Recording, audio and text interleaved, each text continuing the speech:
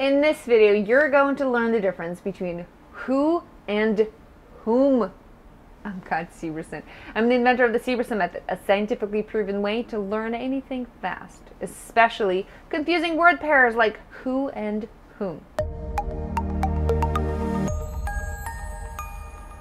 My description of the difference between who and whom is very simplified, and I want to tell you that this is on purpose. There are a lot of layers to the difference between who and whom. But the SAT is not going to test you on those, neither the ACT.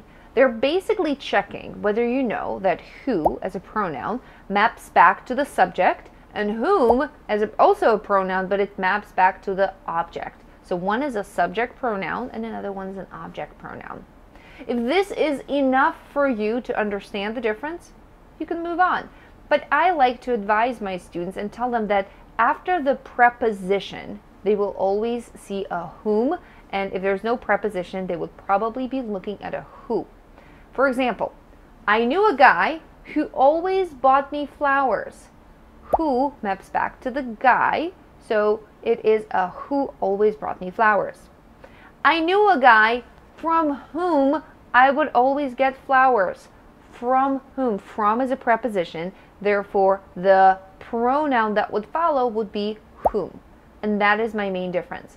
Whenever you see a preposition that comes before a pronoun in question, who or whom, it's probably going to be whom.